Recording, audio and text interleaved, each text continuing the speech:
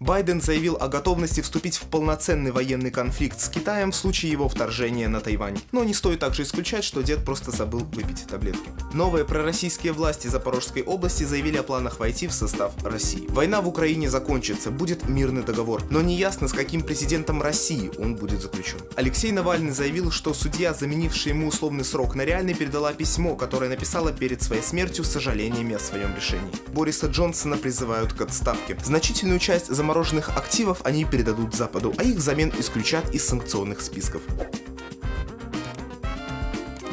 Новые пророссийские власти Запорожской области заявили о планах войти в состав России. По их словам, область войдет в состав России, когда будет взят областной центр, город Запорожье. Также Владимир Путин подписал указ об упрощенном порядке выдачи гражданства России жителям Запорожской и Херсонской областей Украины. На сегодняшний день под контролем российской армии две трети территории Запорожской области, а сам город Запорожье контролирует Украина.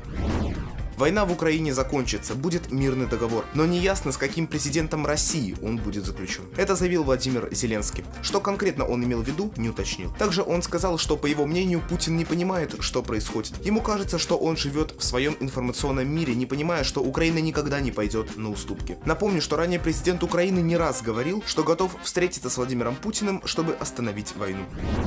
Владимир Зеленский поддержал петицию о визовом режиме с Россией и поручил премьер-министру Украины проработать этот вопрос. На сегодняшний день между Россией и Украиной действует безвизовый режим. Соответствующие электронные петиции оформляются на специальном сайте. Чтобы их рассмотрел президент Украины, нужно набрать не менее 25 тысяч подписей. Помимо введения визового режима с Россией, на этом портале просит Зеленского разрешить мужчинам покидать Украину и переименовать все улицы Пушкина в улицы Стивена Кинга.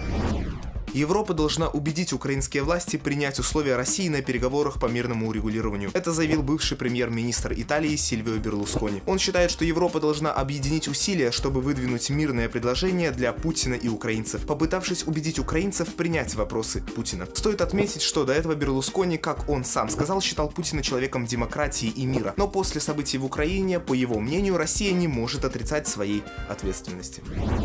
Техасе парень пришел в местную школу и застрелил 18 детей. Губернатор штата сообщил, что стрелком оказался 18-летний Сальвадор Рамос. Преступник скончался после перестрелки с полицией. Еще несколько дней назад стрелок написал в инстаграме, что собирается кое-что сделать.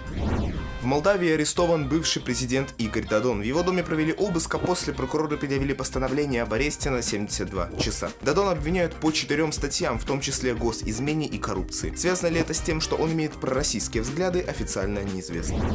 Рогозин предложил переименовать Курильские острова и дать им русские названия. Глава Роскосмоса предложил подумать над тем, чтобы один из островов назвать Варягом, второй корейцем, в честь канонерской лодки, которая героически сражалась против японского флота. Третий остров он решил назвать в честь Всеволода Руднева, героя русско-японской войны. Премьер-министр Британии Бориса Джонсона призывают к отставке после появления новых фото с вечеринки во время карантина. На фото видны пустые бутылки от алкоголя, закуски, ну и, конечно, санитайзер и антибактериальные салфетки, куда же без них. На тот момент собираться вместе было разрешено только родственникам. Ранее Джонсон врал и говорил, что вечеринки не было. Алексей Навальный заявил, что судья, заменивший ему условный срок на реальный, передала письмо, которое написала перед своей смертью с сожалениями о своем решении. На прениях в суде, где сейчас проходит рассмотрение апелляционной жалобы на приговор по делу о мошенничестве, Навальный заявил, что судья Наталья Репникова передала ему письмо через адвоката, в котором призналась, что сожалеет о своем решении и назвала Алексея смелым человеком. Репникова умерла от коронавируса в августе 2021, примерно через полгода после того, как заменила Навальному условный срок на реальный по делу и Russia. Байден заявил о готовности вступить в полноценный военный конфликт с Китаем в случае его вторжения на Тайвань. Похоже, в 2022 нас ждет еще много всего интересного. Но также не стоит исключать и того, что дед просто забыл выпить таблетки. Напомню, что в апреле китайские военные сообщали о проведении учений вокруг Тайваня, а в Пекине заявляли о том, что ранее США обещали не поддерживать независимость острова. Российские олигархи, осуждающие военные действия в Украине, но боящиеся выступить против, опасаясь репрессий со стороны Кремля, неоднократно звонят министру финансов Канады. Об этом сообщила сама министр. Христия Фриланд сказала, что олигархи предлагают ей сделку. Значительную часть замороженных активов они передадут Западу, а их взамен исключат из санкционных списков. Полученные миллиарды пойдут в Украину, а олигархи и дальше смогут жить беззаботной жизнью. Однако никаких подтверждений таких предложений от олигархов нет, как и доказательств того, что они действительно звонили.